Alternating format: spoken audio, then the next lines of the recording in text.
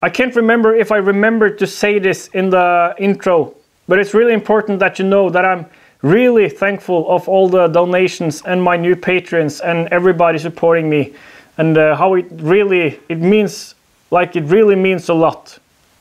Just wanted to let you know again. I'm going to keep on letting you know you know. Welcome back to my garage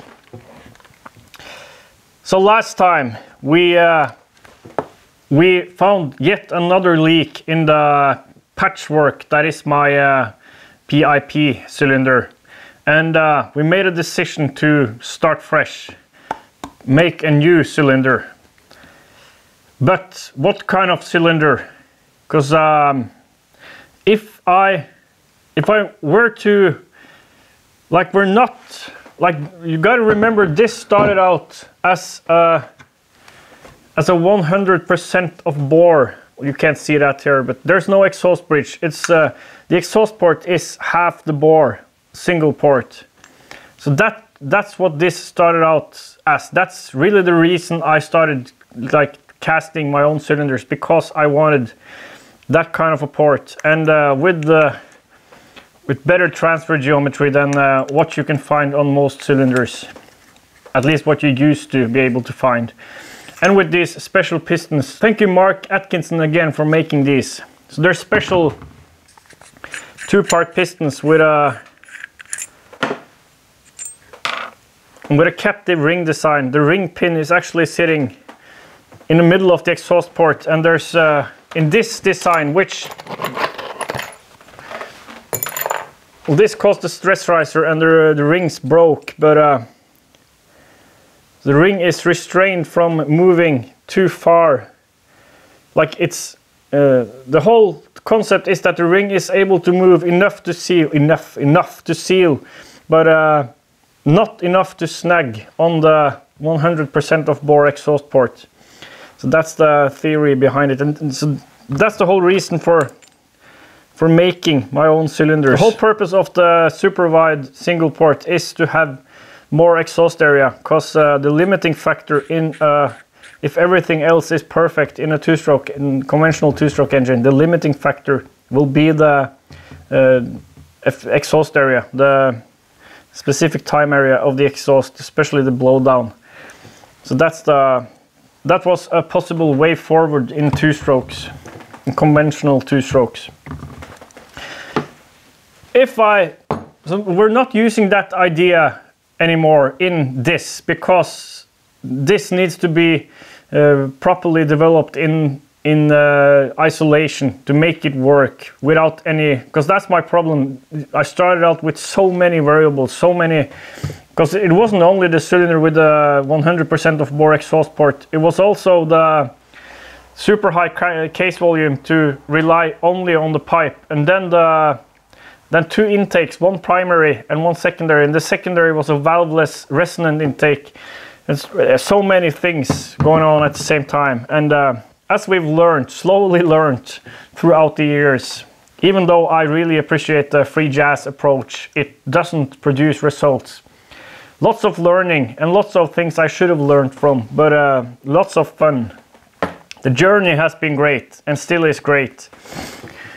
What I'm what I'm talking about here is that uh, if we leave all of this out of the cylinder and cast a new one with a with traditional three-port design and a, a, duct that looks like uh, a traditional three duct design. And uh, and now as we've established that the the transfer angles should be very much close to what you typically see on uh, like this this isn't better. A hook in the transfers is actually it seems better than just uh, like having it not bend in two planes. I've talked about this before. So again what I'm talking about is that casting a new cylinder with the three port design with more with typical transfers it would just be copying something that we already know is a good design like is that what I want to do is what I'm uh, what I'm thinking uh, thinking about because uh, well I, I don't think that's what I want to do. That's not my my strength doesn't lie in doing stuff like that. I that's not what I I I need to do something actually like I'm not the best engineer and I'm not the most knowledgeable in two strokes really. What I am what I think my strength is is the outside of the box coming from somewhere else than most other people working with two strokes and my my very special way of uh, my my weird way of thinking maybe which makes because we have all this like the brute force concept the like it started out like this. A very special design with a, with the transfers just as high as the exhaust port and reed valves in the transfers and a rotary exhaust valve and a supercharger and this produced very good results I think. But then again my dyno was experimental and uh, really difficult to decipher if the numbers were good. But we were we saw like 20 horsepower from 7000 to 13 13,000 rpm with this. And then we started like wondering what the limiting factors were. And I thought it was exhaust area. And uh, we ended up here with uh, with two rotary drum valves. Now without the reed transfers just a symmetrical transfer layout and also symmetrical exhaust layout. And but this we, we never got to uh, properly test the testing of this because just a couple like a short run and then the chain drive bound up and uh, and that was it. Then we went into the supercharging the PIP engine and that whole adventure there so, so I like do I want to I don't think I want to like make a conventional two-stroke engine and make that work. I feel like that's there's so many people doing exactly that. And uh, without all the experimental things, there's really no reason to to to build something like that for me at least. And and many people will be like, oh, I just want that to happen. But uh, I don't think you really want that to happen because you can see that everywhere else. I think you want the experimental. I think you, you want some of the free jazz. But uh, now with new insights in uh, and um, a better approach and not as like not that much chaos and uh, and with pauses in between to think before operations are performed to avoid stupid mistakes and all that stuff. This is a lot of talk in the beginning of a video.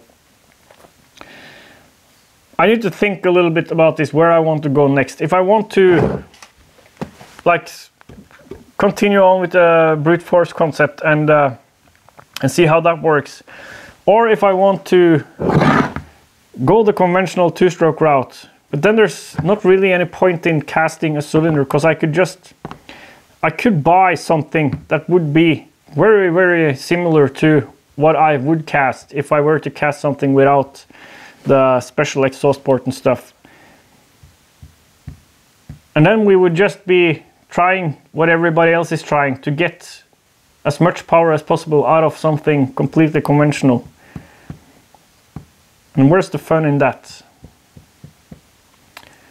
While thinking about that this week, while spending some time thinking about this, where to go now, there's still a possibility to seal up that exhaust port because it's leaking here, the duct. What I can do is drill and I can't really reach the leaky area. And I don't want to, like, I could gouge the floor here and then apply some JB weld, but I don't think it will last. Like, there's JB weld here still, even though this has been running with this for quite a bit. So the JB Weld will survive exhaust gases for, uh, for a period of time at least.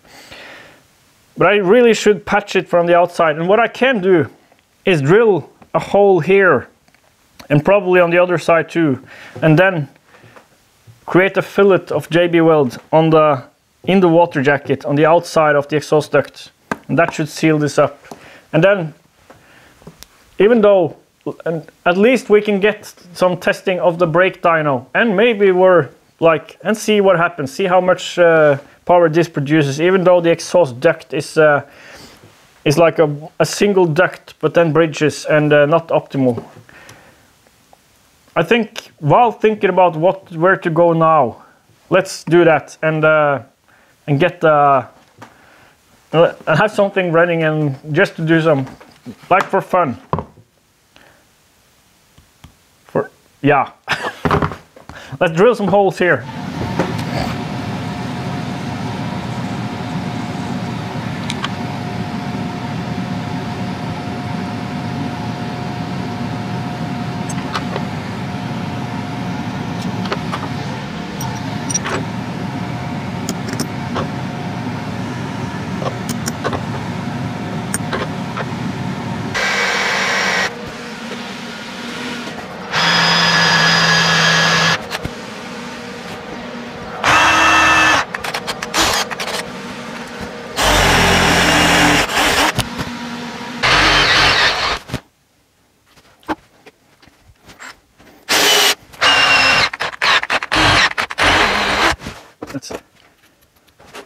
Now there's proper access to the leaky areas.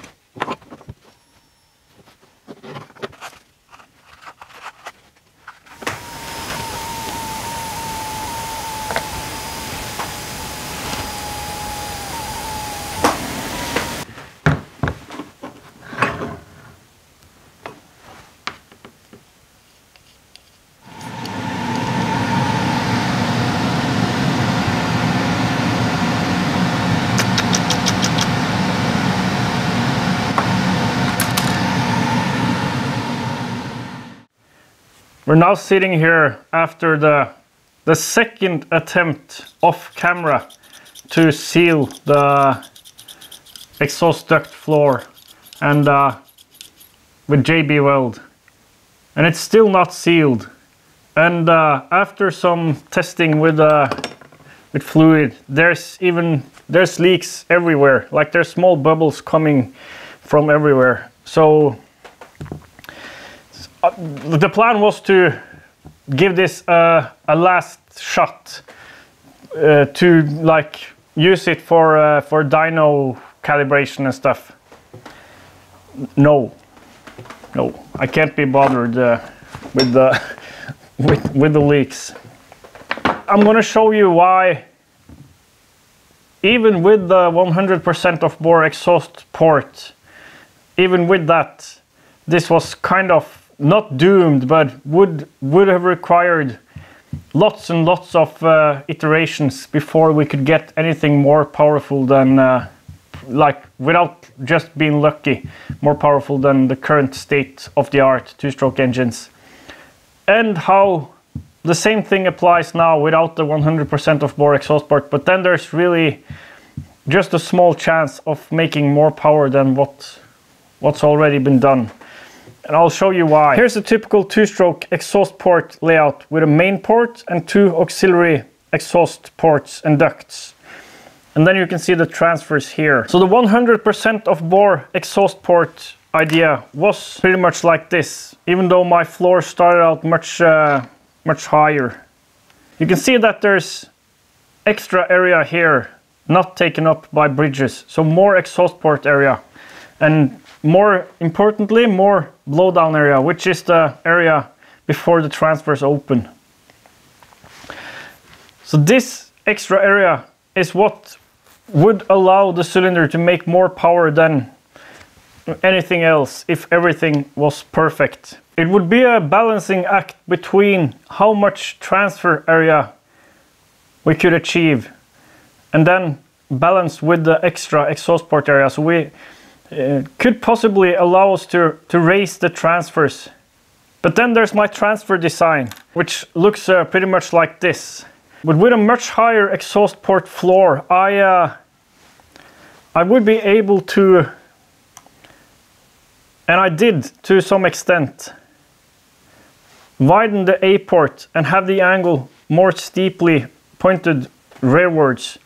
And because that was pointed more rearwards, I thought it would be a good idea to point this angle a little bit more towards the exhaust port to counteract the extra push from here. And this gained me lots of area, like playing around with this can gain you lots of area. And this means you can further like lower the transfer ports and then you'll gain even more blowdown area and and like there's potential here for uh, for lots of power the problem, well, there's one problem with this uh, like single port design, and that is the duct looks like this. So a normal duct would look like this. And I have a suspicion this doesn't flow as well as this because there's like there's this whole area volume open as soon as the port opens versus with a three port design where there's separate ducts. I think maybe velocity will suffer and I did play around with that and make it really narrow and tight and, and probably trouble with skin friction and what I'm trying to say here is that the potential for this to work better than anything else is there. But to reach that better, the approach would have to be a bunch of iterations like make that 100% uh, of bore single port work and then start playing with the, the transfer geometry, start playing with the, the port floor, playing with the, with the angles of the transfer ports and, and all the time matching up the areas to and see what's better and stuff. And and that's like that's we're talking like casting hundreds of cylinders probably.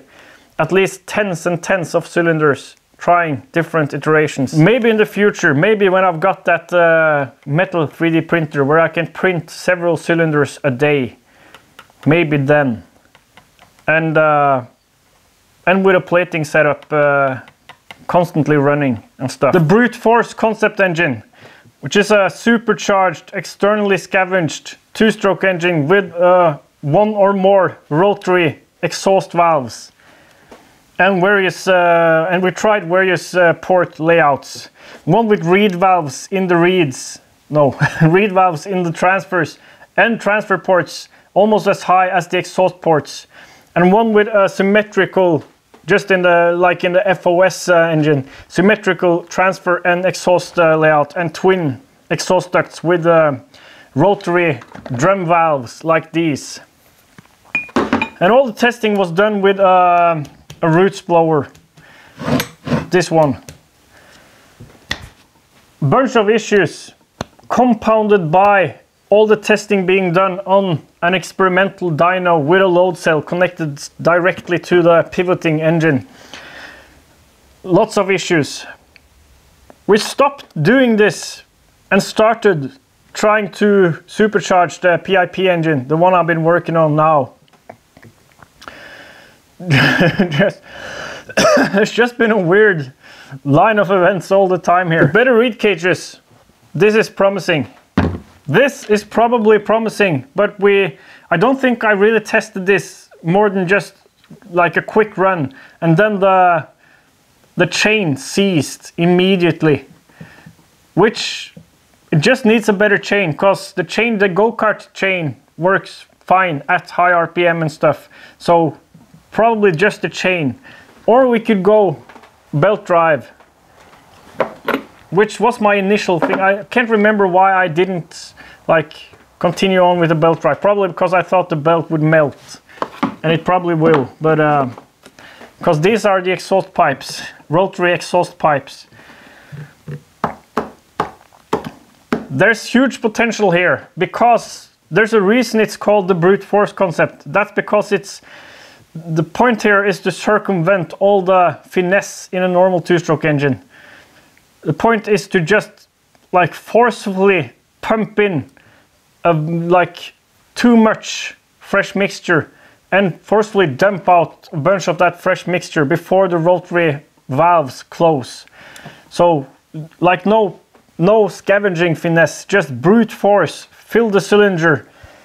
Don't no concern about mixing with fresh or of mix uh, fresh and spent gases cause just pour through like purge the cylinder before the valves close.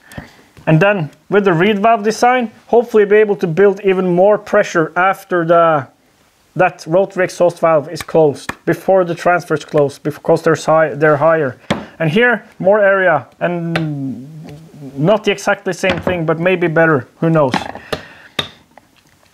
I think for like getting results, getting something working and making more power than uh, 50, than what you've seen from 50cc so far.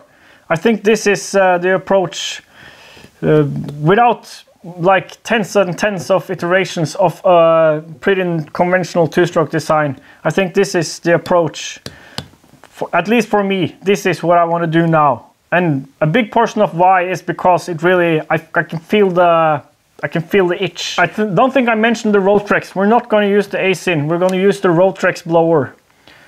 And the problem with all my testing with that blower was uh, how it's it's always been operate, operating in surge, like on the wrong side of the surge line. So we'll need to install a, a mass air fuel, no, um, like an air sensor, like an airflow sensor, MAF, MAF sensor, I think they're called, and also a map sensor. And as this is, there's no pipe here and no, like, this will behave pretty much like a four-stroke, just stroking twice the, or twice the bangs, which means, and now people are, are applauding, we can go EFI pretty easily like a normal uh, normal uh, blown uh, four-stroke EFI type would work here. And like I've got this setup but uh, I don't think this is the way forward. I think uh, like MegaSquirt or something MicroSquirt and uh, injectors into the transfers to not have like a huge volume case volume full of uh, fuel that will uh, fall out of suspension and stuff. So this is exciting. Before all that, we're gonna make sure the dyno setup is working. First this brake disc dyno, and then the water brake that is in the making, which will replace this. And we're gonna do that by grafting a conventional 50cc two-stroke cylinder, like off-the-shelf cylinder onto this case. Grafting is a like mounting, uh, which should be no problem because uh, there's such a long con conrod here. So I, it should be easy to find something that will fit with a spacer and then just like a, an adapter plate for a different bolt, uh, a different bolt uh, circle, bolt hole location. And we'll use this not to test the engine because with a conventional two-stroke cylinder on here, the case volume will definitely be within rotary valve range and then there's nothing special at all. So use that for testing, testing and, uh, and like uh, calibrating the dyno, both this and the water brake. And then brute force engine, EFI, lots of sensors. Yeah. Thanks for watching.